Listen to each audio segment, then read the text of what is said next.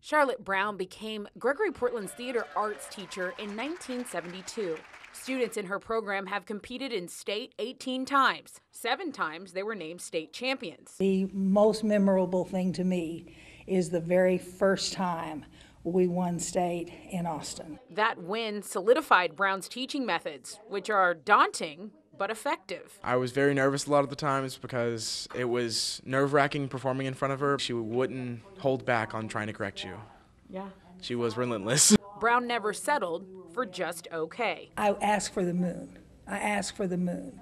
And if I only get a star or two, I'm thrilled to death with that star because they would have not given me anything before. I don't know how many times she told me to speak louder, that she hears me loud all the time, that I need to always speak up. Doesn't matter how smart you are. If nobody knows how smart you are because you can't talk, you might as well be the least intelligent person in the class. For 45 years, Mrs. Charlotte Brown taught the students of Gregory Portland how to command a stage. This Saturday, they will dedicate that stage right back to her. The district will name its Performing Arts Center after Brown.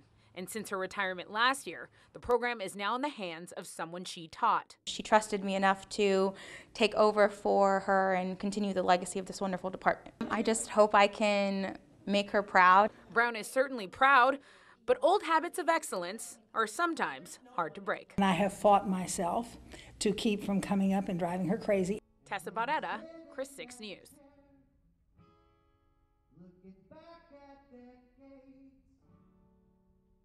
Notice